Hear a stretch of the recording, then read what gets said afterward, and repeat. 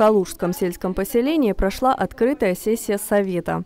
Глава местной администрации Гульфия Иванченко отчиталась о проделанной в 2022 году работе. Общий объем расходов, утвержденных решением о бюджете Калужского сельского поселения на 2022 год составили 10 миллионов 340 тысяч рублей.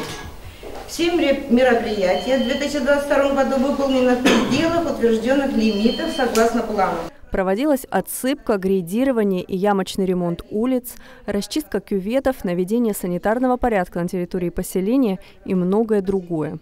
280 земельных участков за чертой станицы сформировали для многодетных семей, в том числе и под строительство будущих школы и сада. Основная проблема пока – отсутствие инженерной инфраструктуры на выделенном массиве. После доклада пришедшие жители поселения могли задать свои вопросы. Горячее обсуждение возникло вокруг ситуации с энергоснабжением. Люди жалуются на низкое напряжение. Представитель РЭС, присутствующий в зале, уверил, что линии соответствуют нормативным требованиям. Расставить все точки над «и», вероятно, поможет только независимая экспертиза.